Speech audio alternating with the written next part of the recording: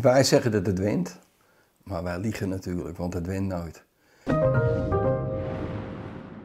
Er is vrijwel geen politieagent te vinden die bij zoveel zaken op het plaatsdelict is geweest en zoveel dode lichamen heeft gezien als John Pell.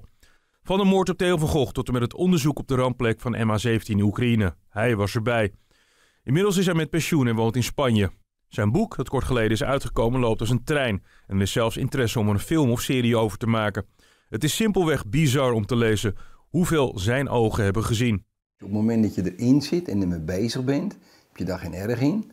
En op het moment dat je ziek wordt, hè, want ik ben, ik ben ziek geworden, 2009 heb ik een burn-out gehad. Maar dat was al mijn eerste PTSS uh, wat om de hoek kwam. Ja, en toen ik in 2016 omviel met hartklachten, waarbij ik heel veel geluk heb gehad dat ik nog in deze derde helft zit, ja, werd het me door, ook, door alles en iedereen wel duidelijk dat ik, uh, dat ik toch wel behoorlijk wat gedaan heb in mijn leven. Ja. Na wat omzwervingen binnen de politie kwam Pel bij de technische recherche terecht. Zijn vuurdoop de Bijlmerramp staat bij hem en bij heel Nederland in het geheugen gegrift. Mijn leidinggevende toen de tijd, die zei van kom op, ga mee. Uh, we kijken wel wat je, wat je kan doen. Dus ik was gewoon, ik was handjes. Ja, als je daar dan drie dagen over die berg heen loopt in de Bijlmer en dan ook nog een dagje bij de stort, omdat er menselijke resten nog gevonden werden. Dus daar ook betonstukken onderzoeken. En als je dan ook nog meemaakt dat er een betonnen plaat omhoog gaat waar een compleet gezin onder ligt, ja, heb ik wel mijn vuurdoop gehad qua inwerking. Ja. Wij zeggen dat het wint, maar wij liegen natuurlijk, want het wint nooit. Pel is een ras-echte Amsterdammer en had een grote mond. Altijd zeer direct en deinst nergens voor terug. Zo bleek onder andere na de Turkish Airlines crash bij Schiphol. Op last van Pel blijven de dode lichamen van de piloten nog heel lang in het wrak. Wij gaan hun bergen. Er gaat, niemand gaat er nu die cockpit in. Nou, dat werd, een, uh, dat werd geen dingetje, dat werd echt een ding, weet je. Dus het werd echt wel een beetje hard tegen hard. Ja, en dan legt het er maar aan, denk ik, of je mee gaat buigen als het riet of je rug recht houdt. Dus ik heb mijn rug recht gehouden. Ik zei, ja jongen, je kan je kop gaan staan, maar wij gaan deze drie bergen. Niet lang daarna zorgde hoog bezoek ervoor dat Pel weer eens in discussie moest. John, er is bezoek, dus ik ga naar voren toe. En uh, nou, de, de, voorzitter van de Veiligheidsraad, die kwam uh, te plaatsen. En die zegt, uh, wij nemen hier de PD over. Dat, die, is van, koning, die was van Koninklijke Huizen, toch? Die, ja, die was meester Pieter, hè? die was van Koninklijke Huizen. En ik, ik, zie het nog voor me, er, er staan wat mensen omheen. En nou, meneer Van Vollenhoven zegt, wij nemen hier de PD over. Ik zeg, nou, ik zeg, volgens mij ben ik hier met 83 mensen aan het werk of zo, maar dan doe ik even een korte debriefing, maar dan gaan wij weg. Toen zit hij weg. Ik zeg, ja, ik zeg, want wij hebben van de minister een onderzoeksvraag gehad. Is hier sprake van een terroristische aanslag? Maar luister, als jullie al weten dat het geen terroristische aanslag is, denk ik, ja, wat doe ik hier al? Be my guest. En uh, ja, dus toen, uh, toen heb je meester Pieter van Vollenhoven even weggestuurd? Nou nee, dat wil ik niet zeggen, want dan ben ik weer die gebraaien aan. Maar ik heb hem duidelijk gemaakt dat als hij het zo wilde gaan doen, weet je, ik zeg, dit lijkt me niet handig. Naast deze rampen, maar ook bijvoorbeeld de aanslag op de koninklijke familie in Apeldoorn, heeft hij extreem veel liquidaties onderzocht. Ik ben er nooit eentje geweest die uh, zei van, uh, dat is dan jammer, had hij een ander baantje moeten, moeten uitzoeken. Weet je wat het is? Aan zo'n crimineel zit ook gelieerd kinderen, vrouw, vader, moeder, broer, zuster.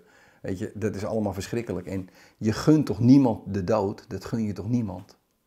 En dankzij hem lukte het voor de eerste keer uitvoerders te pakken bij de reeks van onopgeloste moorden in Amsterdam, waaronder die op Thomas van der Bijl.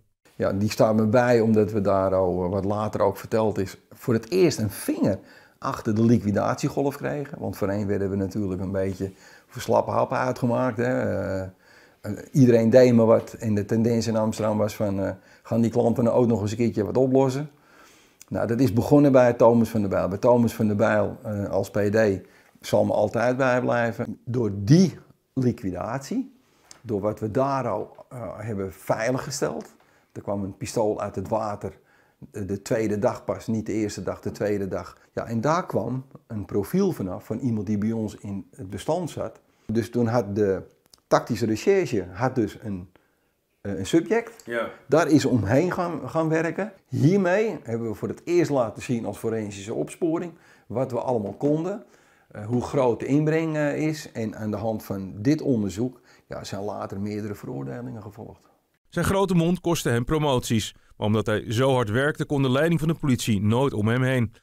In zijn boek geeft hij ook de nodige kritiek op de starre organisatie van de politie. Wat er in mijn ogen mis is al te lang, is dat het te veel het Old Boys netwerk is. dat we kritische geluiden vanuit de organisatie, dat we die als bedreigend uh, aanschouwen. Daar ben ik zelf slachtoffer van geworden. Ik heb van mijn hartnood een moordkaal gemaakt. En ook, ook ik ben daar natuurlijk op, uh, op, op ja, afgerekend is een groot woord, maar ook mij heeft dat belemmeringen opgeleverd natuurlijk. Eén zaak zit hem zelfs na zijn pensionering nog altijd niet lekker. De vermissing van Deborah Roziek. Dat kleeft nog steeds aan me. Iedere kans om dat onder de aandacht te brengen zal ik niet laten. Een half jaar geleden heb ik daar nog met collega's over gebeld. Kijk, je kan ook zeggen, hé hey Pel, je bent, joh, je bent gepensioneerd, joh, laat los die troep, het is mooi geweest, uh, andere dingen doen. Maar er zijn een, een, aantal dingen waarvan ik durf te zeggen dat we zo dichtbij zijn geweest. Zo dichtbij zijn geweest. En dat uh, het ons als team uit de handen is geglipt. Maar die zou ik nog heel graag opgelost zien. Heel graag.